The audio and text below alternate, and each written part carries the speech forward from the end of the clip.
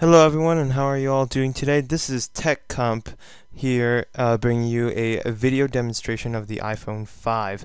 Now if you realize this is my first ever video and uh, if you are going to follow this channel I'm going to do lots of uh, technological tutorials and bring you guys some newer uh, te uh, technological pieces that are going to be released to the market soon or anything pretty much pertaining to technology.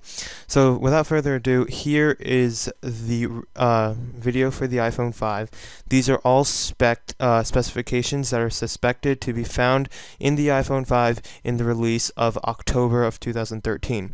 Now the new uh, A5 processor chip. This is currently found in the iPad, well the new iPad, not the iPad 3, but the new iPad, um, and it's going to be a triple um, duo set. And what this is going to do is it's going to make processes faster load processes faster and it's going to improve the screen so we can see pictures in high resolution.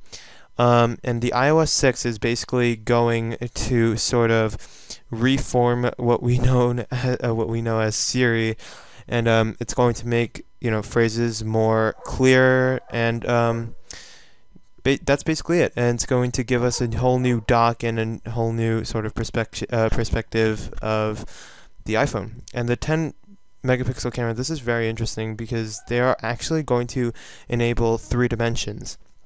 Usually, even on the iPhone 4, we saw two dimensions, so I'm very interested to see what they do in the in three dimensions. Um, and it is going to be 10, uh, 10 megapixels, which is very high resolution there's going to be a larger display, so it's um, going to be possibly greater than or equal to 4 uh, inches, and the iPhone 4 is 3.5 inches, so you can do that easy comparison. And it's going to have near field communication support, which is NFC, so it's they're going to install pretty much a, a newer chip to make uh, payments qu uh, quicker, and it's going to be easier to store your credit cards or debit cards on the iPhone a complete new redesign. I just saw a picture, um, I can show you guys here, um, of the home button and basically what they're going to do is make the texture a bit uh, rig uh, rigid on the home screen so you can um, tell by that that there is going to be a new redesign of the iPhone 4.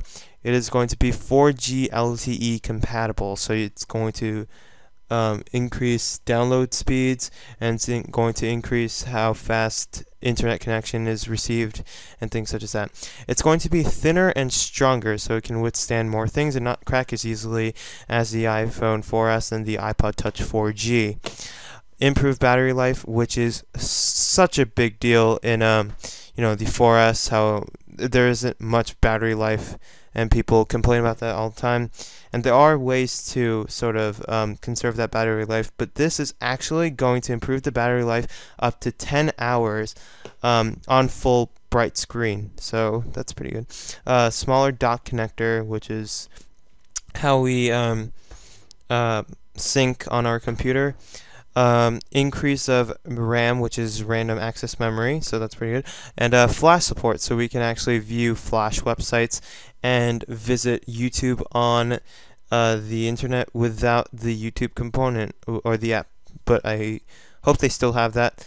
Um, now I'm going to take you to this picture and show you. This isn't. This is just a very um, sort of raw uh, diagram of what the uh, what the phone is supposedly supposed to look like. And as you can see, here's the sort of handset. I don't know what that's called. I'm sorry, but here's the front-facing camera, and here's the part of the redesign and you can see it has a thin chromatic finish so I am very eager to see how this comes out so I hope you guys enjoyed today's video and uh, please comment like and subscribe to this channel. Also, if you can sacrifice uh, sacrifice three seconds every day, follow me on Twitter. That will be in the link in the description. Also, the sources that I've rounded up this information from. And thank you and have a great day.